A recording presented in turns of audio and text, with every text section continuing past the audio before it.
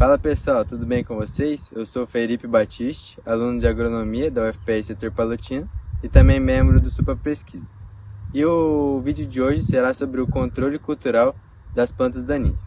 Bom, então primeiramente a gente sabe que nos dias atuais o controle das plantas daninhas está sendo um dos principais desafios, né, para atingir grandes produtividades nas lavouras, muito por causa do aumento de resistência das plantas daninhas, também está tendo que fazer várias misturas para obter o melhor controle. Então, o controle cultural acaba sendo uma nova oportunidade para você ter o melhor sucesso né, no controle dessas plantas daninhas. Mas primeiro, mas que, que é esse controle cultural? O controle cultural nada mais, nada menos é do que você fazer boas práticas na sua lavoura, no caso aqui na lavoura de soja.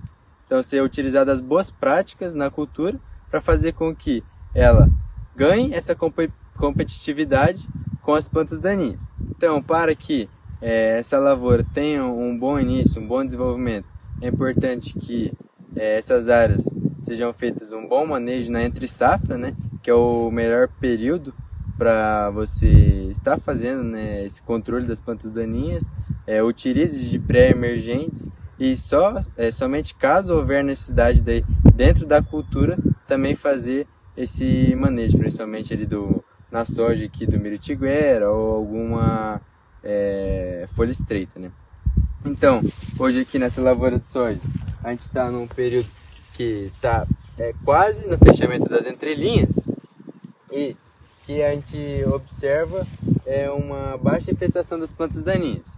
E isso é importante porque é, após essas ruas se encostarem, vai é, entrar uma menor luminosidade né, nessas entrelinhas e, consequentemente, essa, a própria cultura vai estar tá diminuindo é, a incidência das plantas daninhas.